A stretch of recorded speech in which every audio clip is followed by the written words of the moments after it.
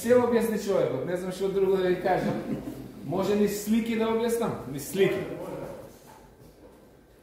Кој знае како функционира туристичките агенции, нека дигне рака. Никој не знае како. Еве да објаснам. Носат туристи во хотели и хотелите за тоа им дават провизии. Е се уште еднаш прашање. Кој знае како функционира туристичките агенции? Нека. И се вака, сега е јуни, така, јуни. Кој од вас планира да оди на одмор макар на 5 дена некаде негде? Дигнете рака, убаво дигнете рака, дигнете рака. На кој, значи, па каже рече 80% дигнавте рака. Така? ако Македонија има 400.000 семејства, и ако вие сте просек, 80% е 320.000 семејства ќе одат на одмор. Ајде да кажеме дека 100.000 семејства ќе одат на одмор. И ајде речеме ти просечно ќе потрошат по 1000 евра за смешта и храна по хотели. Зборам само за ова лето. Се согласувате со мене? Ако сте вие нека 80%, ама јас викам еве 20%. Од јас ке знаете, тие што ме познаваат знаат, јас секогаш кога правам симулации ги правам по песимистички сценари. 100.000 по 1000 е 100 милиона евра. Кеш. Само Македонија.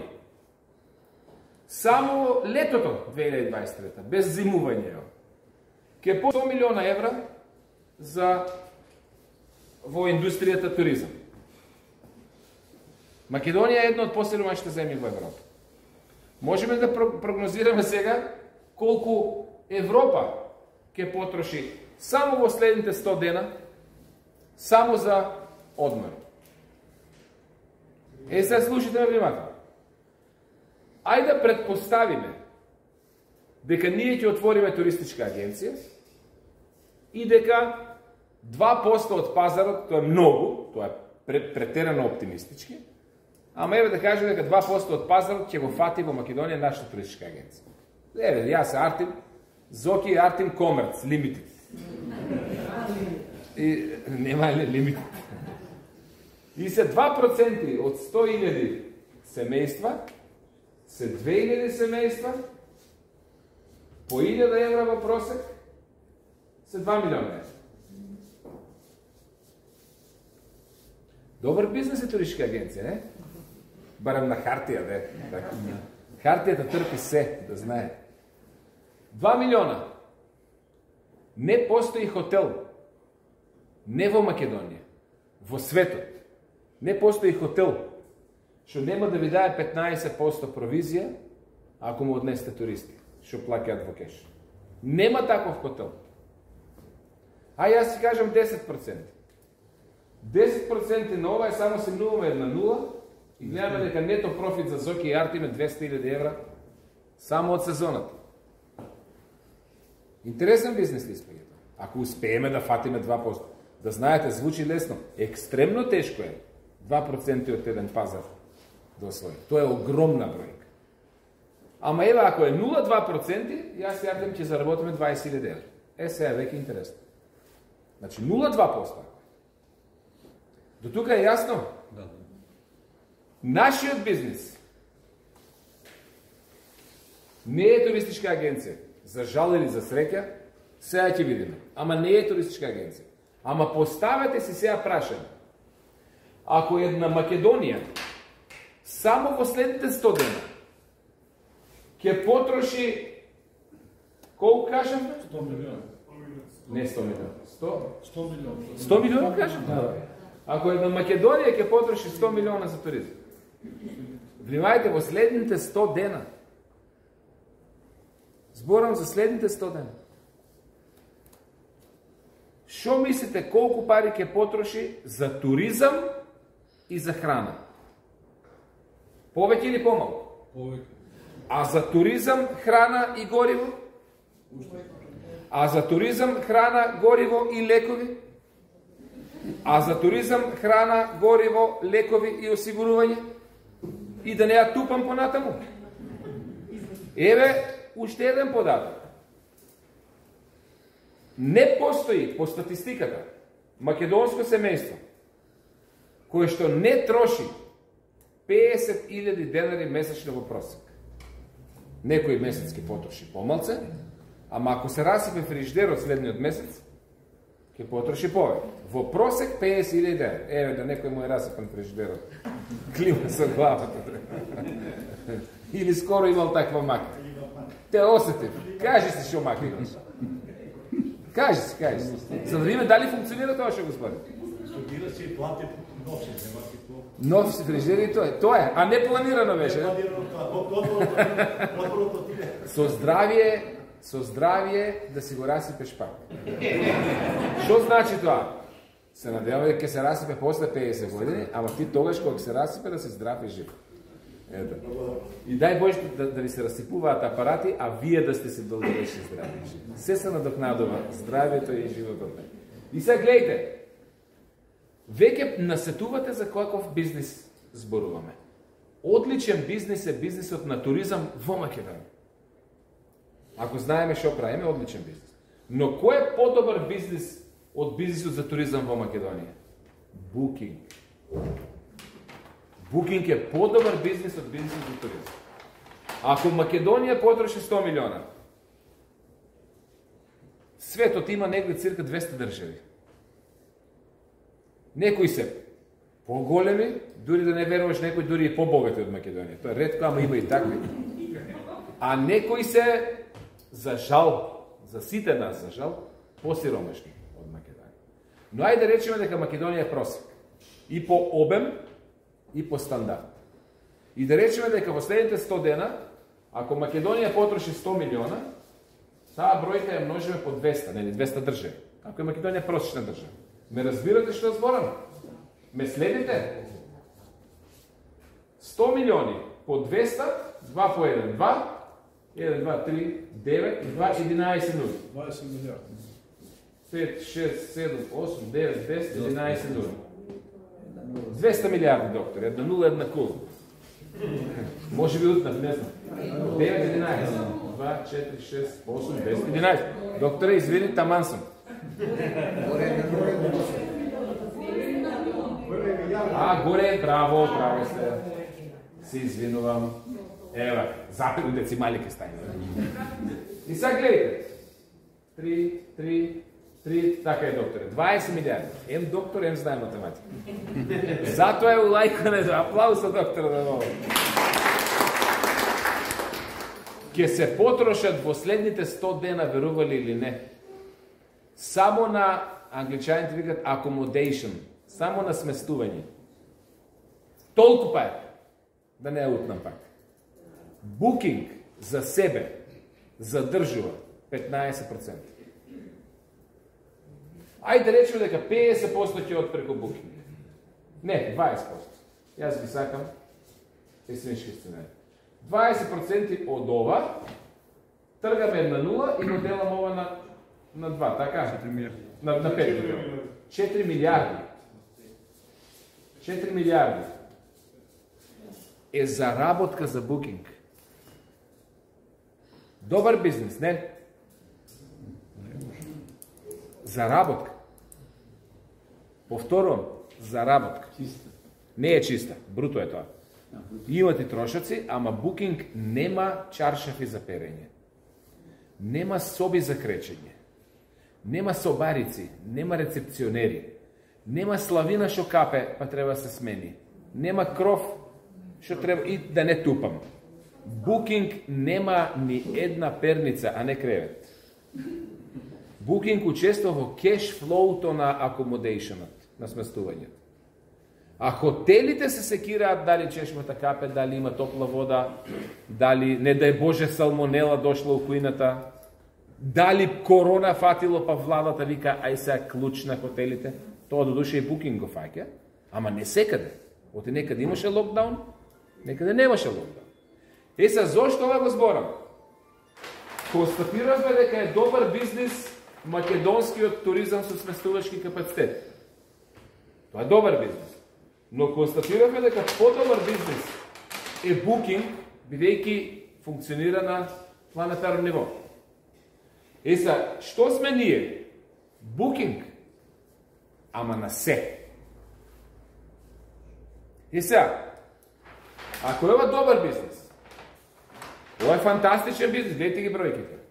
Дали сме свесни во каков бизнес сме влезли? И ти благодарам Горане кај седна, Горан Јович. Ме, ме најави, не знам, дека како кажа, што сум направил тој бизнес, сум ме свртал. Заврте тркалото. За, сум го завртал тркалото, му благодарам. Па како да не го завртам? Јас во овој бизнес, еве искрено ви кажам, влегов да успеам по цена на живот и смрт. Еве, снимаш? Еве пред камера кажам. Еве ќе гледам у камерата. Влегов за да успеам по цена на живот и смрт. Зошто го зборам ова? Оти сум родител на три деца. А има два вида на родители. Едните родители нема да се напрегнат. Ке си останат во комфорт и децата ги користат као изговор. Ќе кажат, ама јас не можам, имам деца за гледа. Ќе се кријат како кукавици за децата. И има друг тип на родители, кои ќе кажат, бај за дош имам деца за гледање. По цена на живот и смрт јас ќе успеам. Е во шо бе луѓе да се вложам, кога не постои подобар бизнес од букинг на се. Оти страх ми е да ги направам математиките. Ако едно просечно македонско семејство годишно троши 10.000 евра за необходни потреби, и ако во Македонија се знае дека има 4 средства, 4 и 6 нули, ако не се лажа. Не, чекай, 10.000, така?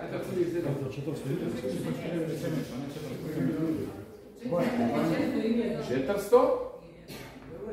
А, 400 илјади, браво, да гледам нешто мало ми е бројката. 400 илјади семејства има, а не 400. Кои трошат по 10 илјади. И сега гледайте, само македонските семејства, овде не влегуваат правните лица. Оте ако моето семејство троши кило месо неделно, колку троши еден прошчен скопски ресторан месо дневно? Не влегуваат трошоците на правните лица.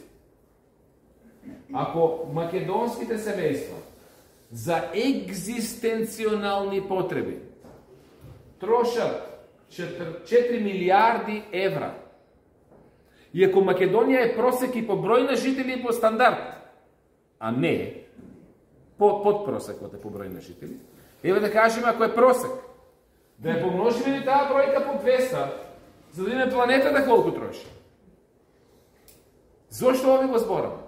За да ја видите големината на нашиот бизнес. Јас кога влегов во бизнесот, во Македонија имаше 2394 члена. Јас сум 2395. Во светот имаше 300.000 члена. Денес во Македонија има 300.000 члена, а во светот има преку 20 милиона члена. Ке расте ли во иднина или не? Ке расте. Таргетот на компанијата е. Пазте, во 2011 во септември, цела планета имала 300.000 члена. Денес само Македонија има 300 члена. Чисто да разберете за во каков бизнес сме.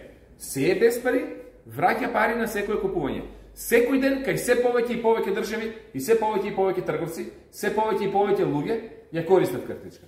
Од бруто обртот 1,5% останува за мајурот.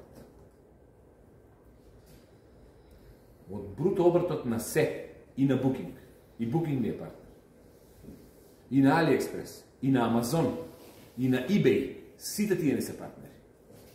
Walmart во Америка има повеќе вработени отколку што Македонија има жители. Да ја повторам таа реченица. И тој не е партнер. Зошто го зборам? Таргетот на компанијата е милиарда членови до 2030 година. Тој е таргет во 100 држави. Значи, ако таргетот е милиарда членови, ајде да речеме дека ќе трошат по едно евро на ден. Кажав, јас ги сакам песимистичките сценарии.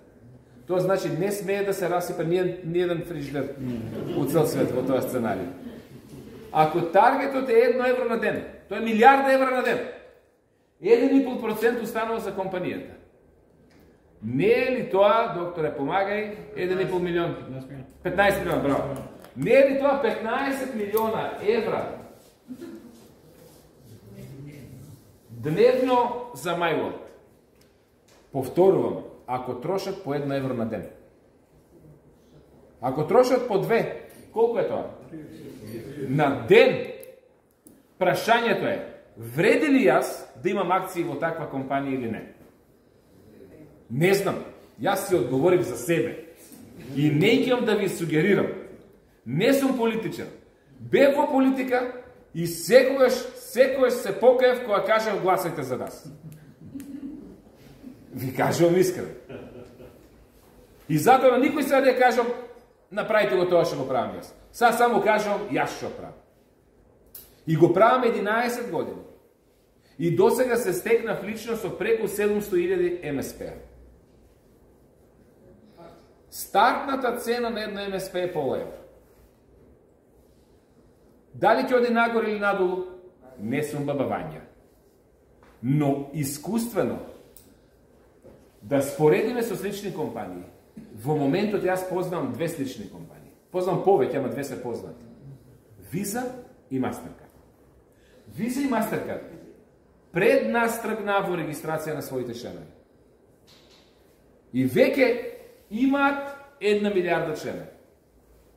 И веќе тие членови трошат по едно евро на ден.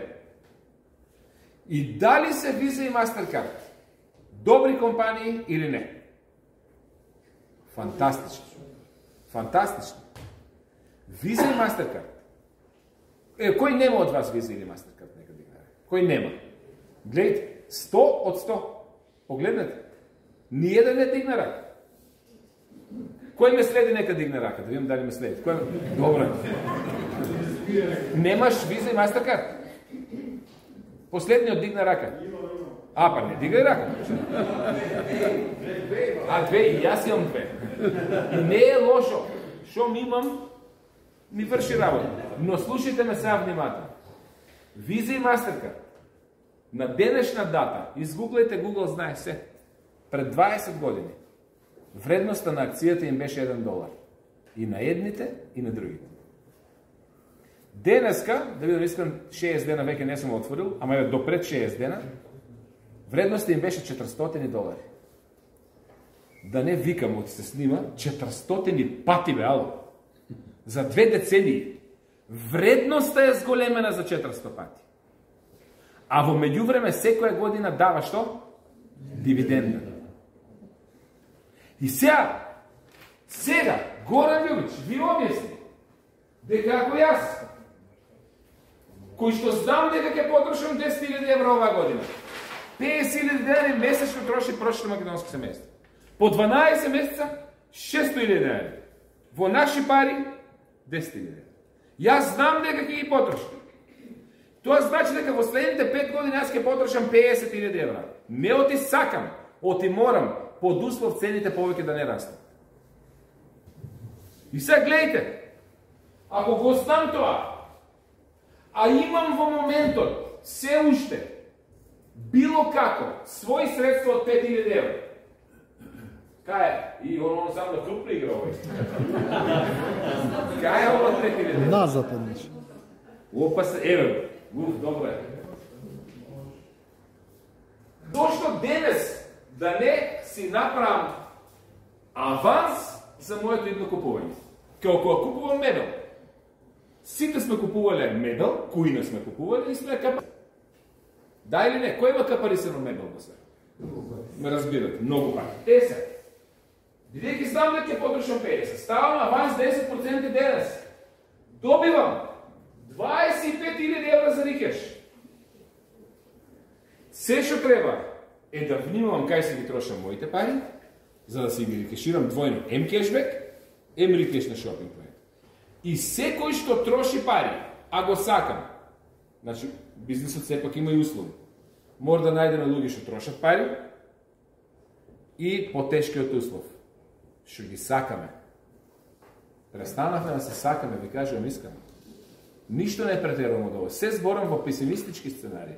За жал и тоа е така се однесуваме како да немаме луѓе што ги сакаме и се однесуваме како да нема луѓе што трошат. Оти ако ги сакаме, бесплатно ги зачленуваме. Они добиваат на секој купување кешбек и шопинг поени. Они си ги користат шопинг поените кај што има дилови, црвената тракичка со процент. А парите од тие шопинг поени во кеш ви доаѓаат на ваша сметка додека не ви се вратат 25.000 евра. А при самиот старт на аванс добивам 50.000 МСП-а. Што има вредност од 50 акции по 500 евра стартна цена, 25.000 евра. Е, затоа јас го направив. И не ви кажувам дали да го правите или не.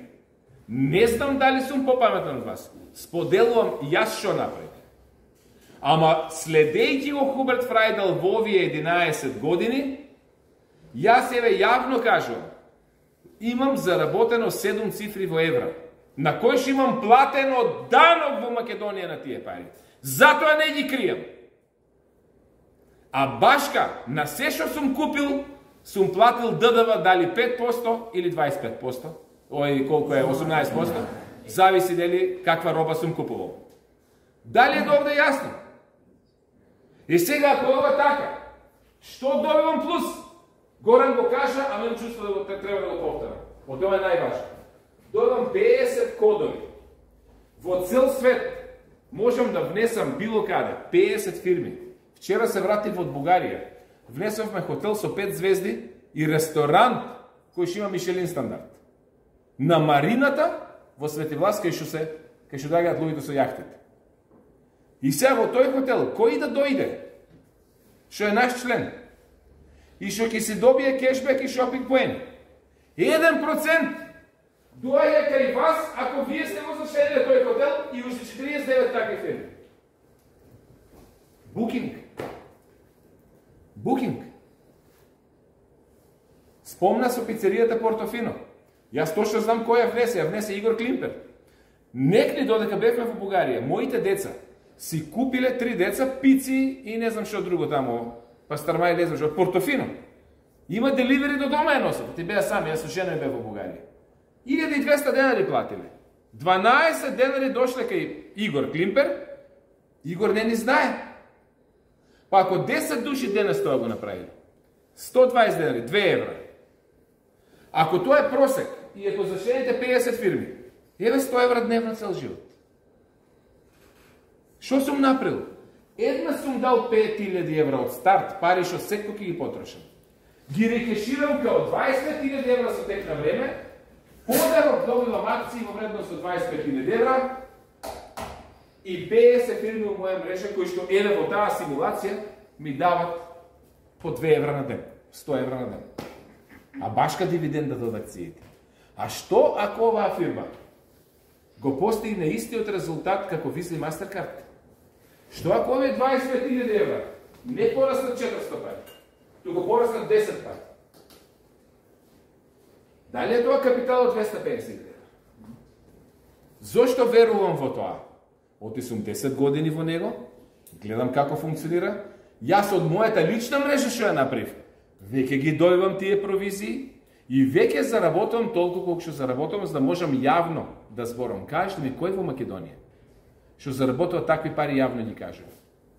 Знаете ли зошто никој? Веројатно не се до крај легални. Јас не знам кој сте овде.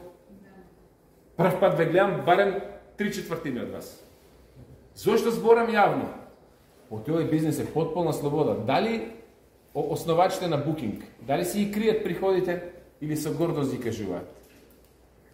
Ги кажуваат со гордост, оти плаќат данок на сите приходи. И еве да ви кажам нешто, Booking е холандска фирма. И знаете ли што прави холандската држава за Booking?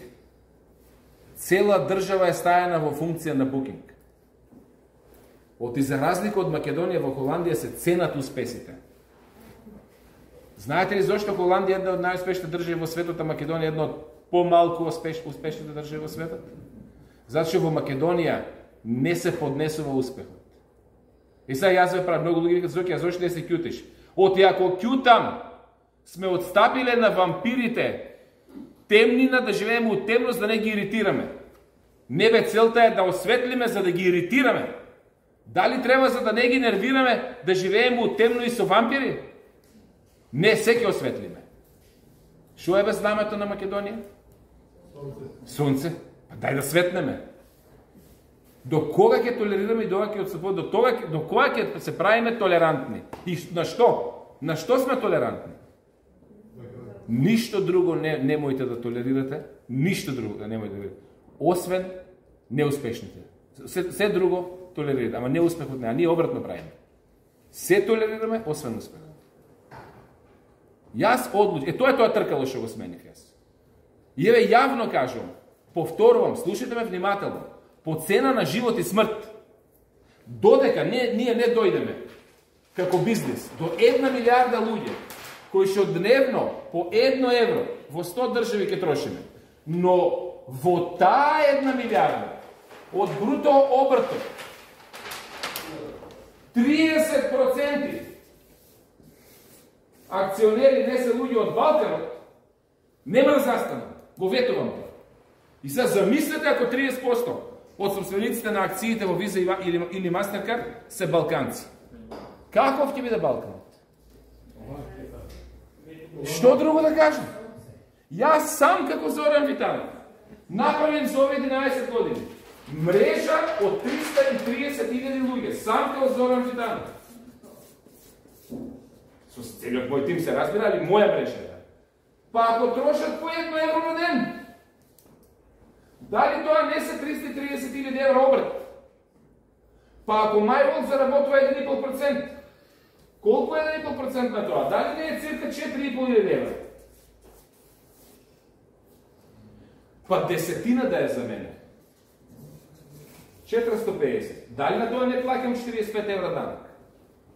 Ако трошат по едно евро, кажете. Очигледно трошат повеќе. Обртот се прави во цел свет, данокот доаѓа во Македонија, и тоа персоналниот. А кај ги трошаме јас тие пари? Во Македонија. Ами ДДВ-то 18% ли? Е, сега замислите ако во Македонија ние направиме 1000, 5000, 10, не на Македонија, Балкан. Македонија е многу мала со овој бизнес. Балкан. Земете ги само соседните држави.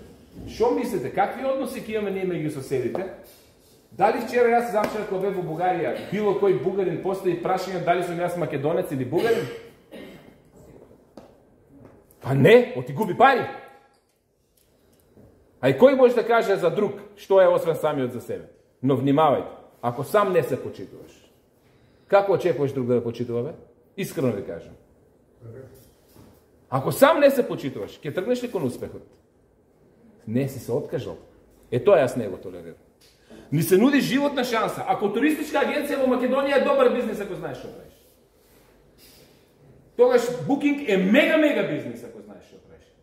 А букинг на се и тоа да биде твој и ти да си со собственик. И се има луѓе вика, ама страх ми е што ако и понатаму нели прашањето што ако се случи ова, што ако се случи ова, што ако ќе ви го цитирам Джим Рон. What if is the language of the poor? Джимерова вика, што ако е јазик на сиромашниот? А што вика богатиот? Зошто да не? Еве да ви кажам, замислете дека јас сега, ја душе мене не познавате, јас не авансирав, веројатно затоа го ли ви овие слајди да ги покажа. Јас не авансирав толку, јас авансирав толку. И сега не Зоран, а што ако пропадне бизнес? Да сме живи здрави. Дали познавате човек што некојаш живот изгубил 40.000 евра, а утредента е пак жив и здрав? Познавате? А што ако успее? Ајде да видиме што ако успее.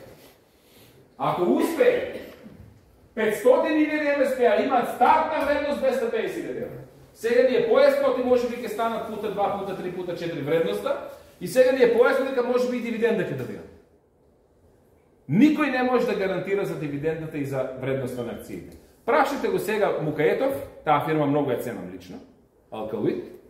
Прашете го колку ќе вредат акциите до година ова време. Па кај да знае? Па не знае. Оти не знае што се случува на пазарот. Кој ја предвиде короната? Никој. Дури војната во Украина не ја предвиде никој. Значи не знаеме што ќе се случи.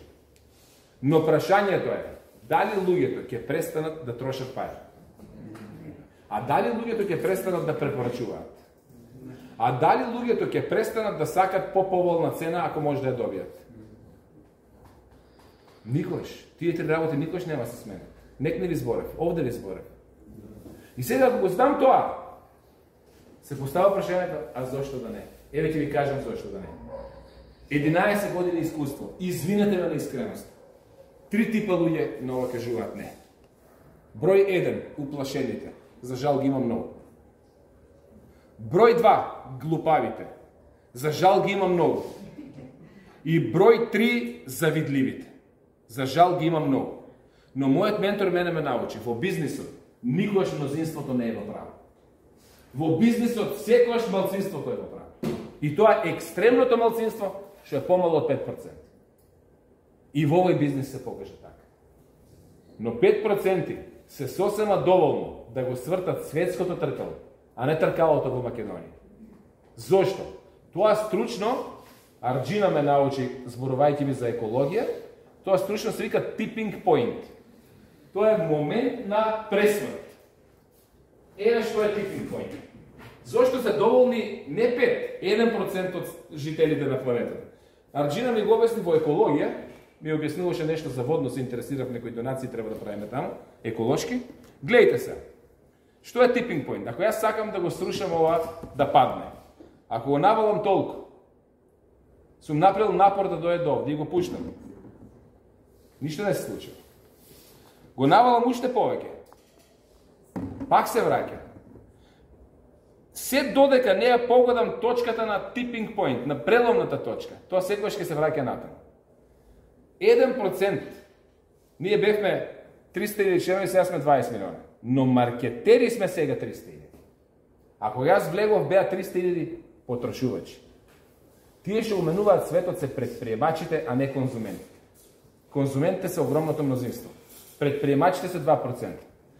Сега, кога ќе дојде момент предприемачите да бидат во овој бизнис 1 милион, кога ќе дојде милион маркетери да градат мрежа, типинг поинтот ќе го помине тој момент на милиметарски пресврт и доаѓа до нагла промена. И веќе никош нема назад. Тоа го направија Visa и Mastercard. Затоа сега сите имате Visa и Mastercard. А прашајте ги, изгуглајте колку децении предходно постоеа додека не дојде до тој момент на типинг поинт. Кај нас се е без пари, на секое купување и онлайн и офлайн, на секаде се повеќе и повеќе, враќа пари. Не е прашањето дали ќе дојде до типинг поинт. Прашањето е кога ќе дојде типинг поинт, колкава мрежа имате вие и колку акции имате вие и вашиот тим. Тоа е прашање. И мојата животна цел е луѓето од Балканот да учествуваат со што е можен поголем процент во, во своји мрежи да имат во светот и што е можно повеќе процент на акции. Затоа во Полска три држави беа водечки. Трето место Португалија, и тоа не ми изненадува многу. Португалците го освојувале светот. Од секојаш откривале нови континенти, тоа не ми изненадува. Втора држава беше која? Германија. Зошто? Па го пропуштила моментот да го освојува светот, касно тргнала во освојување и ни направија две војни за да го наврнадат тоа. А третата која е? Македонија. И со тоа јас се гордам. Конечно да покажеме дека и ние можеме. Јас се не барам потрошувачи, потрошувачите доаѓаат као реакција. Сега јас барам визионери, што ова го гледат и што ќе кажат да бе и јас можам. Придружете ми се оти, сами сме слаби. Не можеме сами да дојдеме тој типинг поинт. Но ако го свртиме тркалото што кажа Горан Љубич, ако однесеме 5000 луѓе во Гелзенкирхен од 50.000 луѓе, тогаш 10% од компанијата е наша. Ако изнесеме 15.000 луѓе од 50.000 луѓе, тогаш 30% од компанијата е наша. Просто, секогаш математиката е едноставна. И се е во уделот на пазарот. Затоа се успешни оние кои што во најуспешните бизниси вложуваат напор, оти кога веќе си ги засукал ракавите. Засукај ги ракавите таму кај што има најмногу ефект, а не само за да не бидат засукани ракавите. Погрешно не училе джабе работи, джабе не седи немој да тргнеш ништо да работиш додека прво не направиш план. Еве да го планот, ви го покажав. Фала ви на вниманието, Арте, мислам дека е доволно. И поделете